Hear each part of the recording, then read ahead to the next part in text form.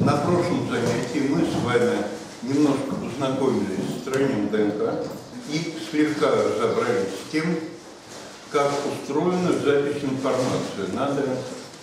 Последовательность разных различных оснований, которые в некотором порядке стоят вдоль молекулы, может обозначать последовательность аминокислот. Но вот наша модельная история.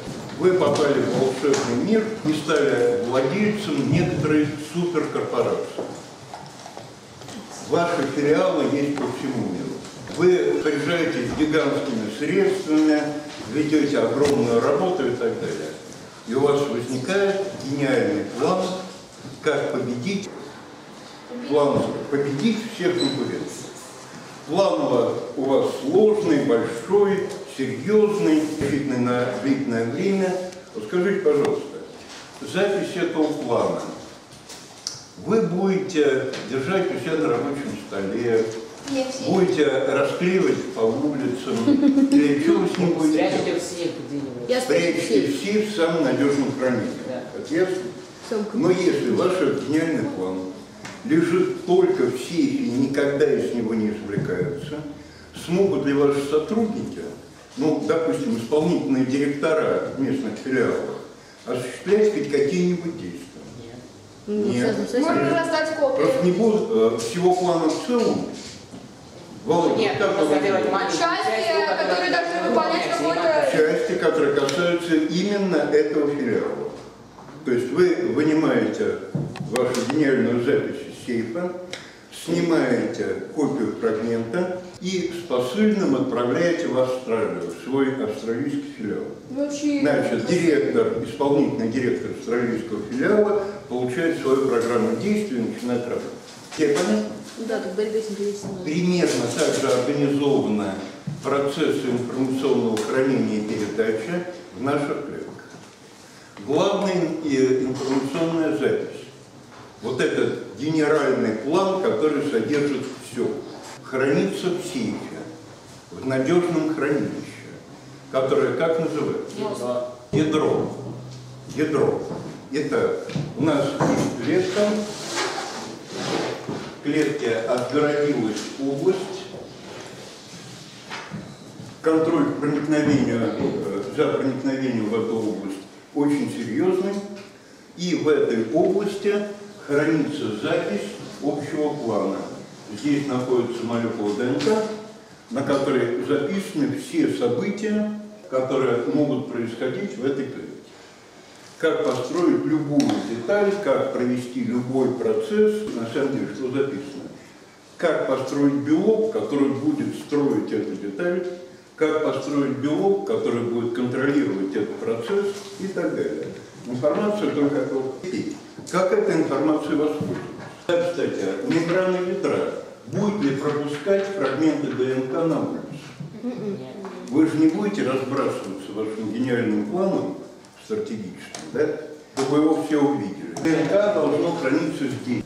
Хорошо, надо управлять событиями, допустим, в этой части клетки. Как это делается? С необходимого кусочка ДНК снимается копия.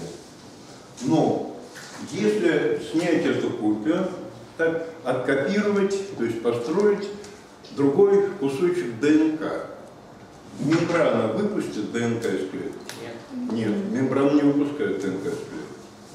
Поэтому копия снимается на очень похожее, но все-таки отличающееся вещество. Это вещество будет называться РНК. РНК. Рибонуклеиновая кислота. Судя из названия, чем РНК отличается от, э, от ДНК? Первой буквой. А с химической точки зрения? Первая буква что обозначает? Какое вещество? В органике все названия значимые. Первая буква в молекуле ДНК, какое вещество? Дезоксирибоза. А это молекула называется просто РНК. А это простая рибоза. Там То есть в РНК другой сахар. РНК отличается от ДНК, во-первых, сахаром. В РНК дезоксирибоза, в РНК простая рибоза. Второе отличие. Немножко отличается набор азотистых оснований. Ну-ка давайте вспоминать, какие азотистые основания характерны для ДНК. А, Т, А, Г. Т, А, С, Т, Г, С. А, так, Т я не написал. А, Т, Г, С. В РНК не бывает тимина. Вот это вот набор характерный для ДНК. Как будет в РНК ситуация выглядеть? В РНК А аденин. А место тимина достаточно похоже, но другое вещество. Называется оно урацил. И обозначается буква Да, именно так. И обозначается буквой У. Гуанин стадин тоже присутствует. То есть на самом деле отличается РНК только вот этой парой. В РНК не бывает тимина, вместо него стоит урацил. Если урацил стоит вместо тимина, то с каким нуклеотидом он может образовать комплементарную связь? С аденином. Отлично. А вот теперь, теперь такое упражнение будет. У вас есть кусок ДНК последовательности. Это вот у нас исходная ДНК последовательность. Аденин, аденин, тимин, цитозин, цитозин, тимин, урацил, аденин, аденин, Стоп, а, стоп, стоп, стоп, стоп, э. Гуанин. Так? Гуанин, гуанин. Вот такая исходная ДНК последовательность. Две задачи будут. Посмотреть, какую ДНК-копию можно собрать на ней. Копия, но тоже ДНК. И посмотреть, какую РНК-копию можно собрать, исходя из этой последовательности. А копия обратная или? Копирование всегда ведется на комплементарной основе. Что такое комплементарный принцип, мы с вами говорим. Комплементарную копию? А? Конечно. это негатив. Конечно, комплементарная копия от негатива. Конечно. Итак, вот у вас исходная последовательность. Составьте ДНК-копию и РНК-копию. Прошу. Те- В этих задачках ничего сложного нет. Надо быть просто внимательным и записывать одну букву точно против другой. Так? Потому что стоит вам слегка сместить запись, и вы получаете чертова знает что. Посмотрите на вашу ДНК-копию, вот на это, которое вы поставили, и РНК-копию, вот это. На самом деле они отличаются только одним моментом. Только одной вещью. Вместо Т У. В РНК вместо тимина стоит урацил. Ну, потому что не бывает тимина в РНК. Да? А так ДНК и РНК копия, в общем-то, совершенно сходны. Потому что все остальные принципы комплементарности остаются прежними и рабочими. РНК тоже двойная спираль? Что? Опять вы прыгаете тройным прыжком. Мы же только начали возиться с РНК. Мы немножечко научились строить РНК-копии на основе ДНК. Как по-вашему, эта реакция идет сама по себе или контролируется своим ферментом? Ферментом – это один из важнейших ферментов, который есть в любой клетке, за исключением одной группы квазиживых объектов. Этот фермент будет иметь длинное название. ДНК-зависимая РНК синтетаза. Ребята, какое окончание все ферменты оканчиваются? Аза. Синтетаза. Это что за фермент, который какой процесс вести будет? Мешает Синтез, синтез. Синтез. Еще раз в молекулярной биологии, биохимии все названия говорящие. По одному названию этого фермента можно тут же разобраться с его работой. В зависимости от ДНК, что строит этот фермент, что он синтезирует. Не из ДНК, а на основе, На основе. в зависимости от ДНК. Это понятно? А из чего он строит? Из мономеров РНК, которые здесь летают вокруг. Вокруг зоны синтеза. Идея ясна? В результате, как процесс выглядит? Откопировали ген, построили рынковый слепок с гена. Как по-вашему, вот такой рынковый слепок мембраны ядра выпустит? Да, его выпустят. Есть специальные белки, которые пропускают вот эти РНК-копии. В результате РНКовая копия выброшена в цитоплазму и ушла в зону синтеза, вот сюда. Здесь синтезирующая система. Представьте себе такого маленького робота, который управляет синтезом белка. Но для своей работы этот робот должен иметь программу синтеза. Вот эта молекула РНК является программой, которая включается в этого робота. В данном случае робот это не фантастический гаишник, а это вполне себе реальная деталька клетки, которая есть у всех клеток без исключения. А, Ну, правда, слово робот в данном случае не используют обычно, а говорят про молекулярный автомат. Это совершенно официальное название. Еще раз, А это только у эукариотов? абсолютно у всех.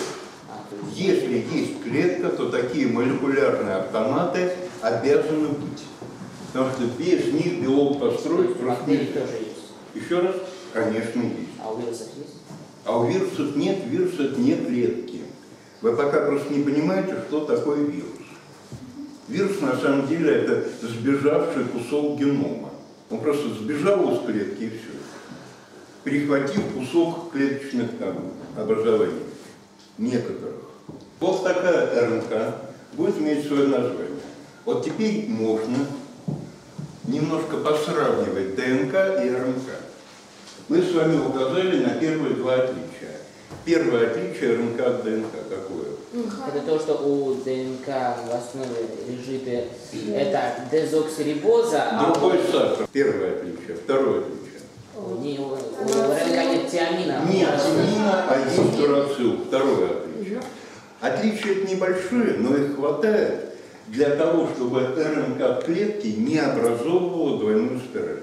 Молекулы РНК в клетке не притягиваются друг к другу, как правило, а плавают поодиночке.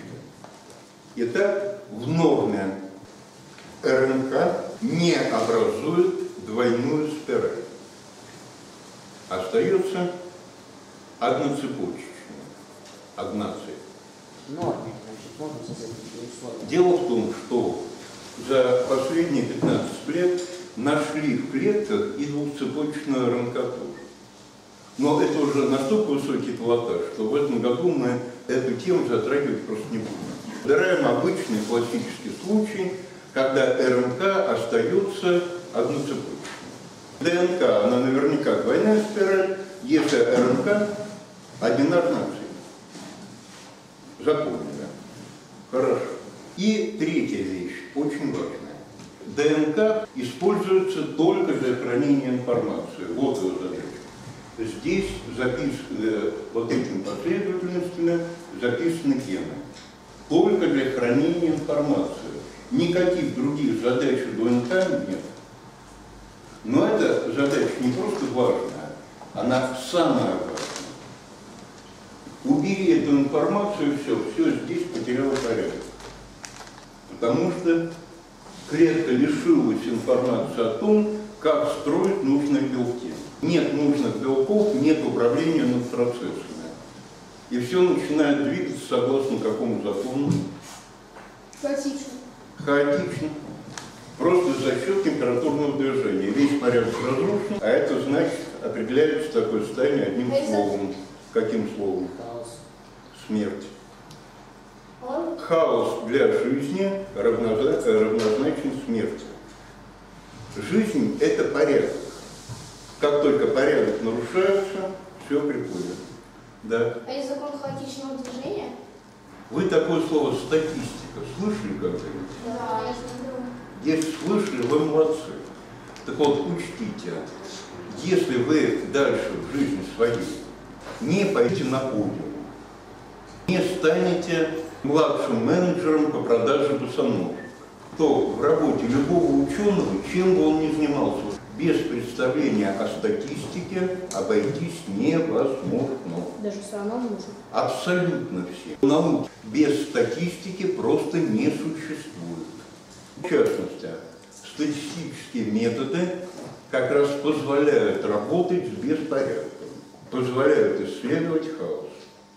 ДНК любой клетке используется под одну задачу – хранение информации. Это вроде хард-диска в вашем компьютере. РНК. А РНК используется для некоторых, нескольких разных задач. Первый вариант, который мы здесь с вами изобразили, который является просто копией гена, будет называться информационная РНК. И РНК. Такая запись только в русском языке. В русскоязычных работах такие молекулы будут называться и РНК. Скажите, как по-английски будет звучать записка, послание, месседж? В англоязычной традиции такая РНК будет называться мессенджер, передатчик послания. Поэтому в англоязычной традиции этот тип РНК определяется как МРНК. МРНК – сома. Каждая рибосома состоит из полутора десятков молекул белка, строго определенных белков, и особой РНК. Такая РНК так и будет называться рибосомальная РНК. Р. РНК. РНК. Рибосомальная. Как по-вашему, РНК будет отличаться от МРНК? Длиной цепи запросто может. У них разные задачи. А я не про задачи, а про строение. Сколько разных МРНК может быть, допустим, в бактериальной клетке? Нет, не бесконечно, строго определенное множество. МРНК что такое? Как называется та часть ДНК, которая скопирована? Что на ней было записано? Белок. Не белок записан, а программа построения белка. Согласны? Как называется кусочек ДНК, на котором записана программа построения одного типа белка? Как называется тот фрагмент ДНК, на котором записана программа построения одного типа белка? Ген. Вот это и есть ген. Это элемент ДНК, на котором триплетным кодом записана информация, необходимая для ген – это фрагмент ДНК, на котором триплетным кодом записана информация, необходимая для построения одного типа белка. Чем отличаются друг от друга разные белки? Пожалуйста, не говорите мне о свойствах их взаимодействия с другими веществами. Любая молекула белка из какого разнообразия аминокислот может быть построена? Из 20. Любой белок отличается от любого другого белка. Чем, Володя? Последовательностью аминокислот. Последовательностью аминокислот в цепи. Эта последовательность аминокислот в цепи, другими словами, как называется? Нет. Первичная структура. Первичная структура белка. Если вы взяли аминокислоты, соединили в определенном порядке, а дальше вам вмешиваться не надо, что произойдет с этой цепочкой? Дальше она сама свернется в спираль. Какие силы ее свернут спираль? Образование водородных связей, молекулярное движение. А после того, как она свернулась в спираль, если у вас есть вот здесь и вот здесь взаимодействующие радикалы, что произойдет? Спираль на- начнет свертываться в глобулу. Форма глобула от чего будет зависеть? Просто от того положения, где стоят эти радикалы. Если взяли и переставили эту аминокислоту в другую позицию, форма глобула осталась прежней или изменилась? Переставили радикал в другую позицию. Изменил. Изменилась форма глобула. А если форма глобула изменилась, свойства, химические свойства уже взаимодействия белка остались прежними или изменились? Изменились. Изменились, а другие радикалы на поверхность вышли. Все.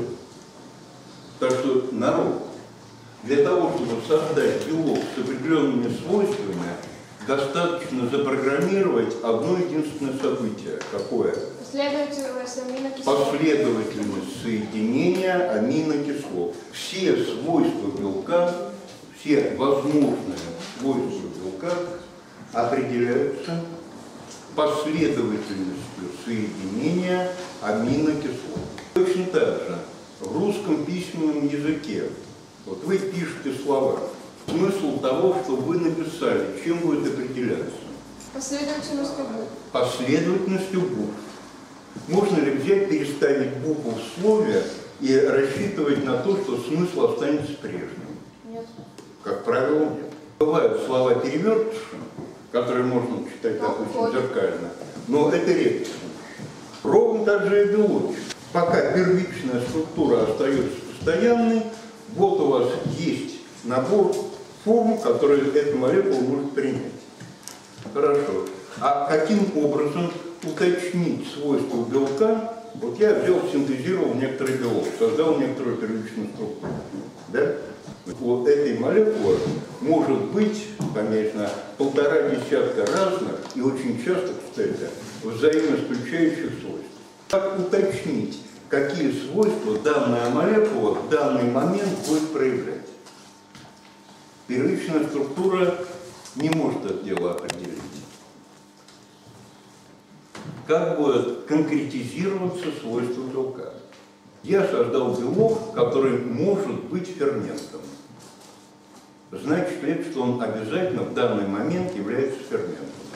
Нет. Нет. Как уточнить? Еще раз, не бойся. Воду кинуть. Ну, А, во-первых, во-первых, разумеется, в воду. Потому что все свойства белков проявляются в воду только в растворах. Ура, согласен. А еще? Бросил условия, э, нужные условия, чтобы нужная для активной конформации. Ведь каждая молекула третичных, четвертичных белков может находиться в одной единственной конформации или в зависимости от условий может менять форму клубка. Может менять. Клубок одной формы имеет одни свойства, вы изменили условия, клубок перемотался. и новые форма. слова. Новые свойства. Спектр свойств определяется первичной структурой, а тонкая настройка свойств особенностями условий внешней среды. Вот видите как? Прям как с гитарой. Можно настраивать единичная молекула, свойства которой подлежат настройке. Хорошо. Чем один белок отличается от любого другого? Последовательность Последовательность аминокислот. последовательностью соединения аминокислот, либо, иначе говоря, первичной структурой. Чем одна ИРНК отличается от другой ИРНК? В ней есть аминокислоты Ой. Последовательность. Последовательностью этих этих, мономеров. каких, Ну, называются они как? курация. А переменных. Как? У них название есть. Ну, урации. Не урация, а урацил, да? Урацин. Так, как вы назвали мне только одну переменную, а Это все, как называются все вместе мономеры нуклеиновых кислот? Кадон. Нет, кадон это разве один?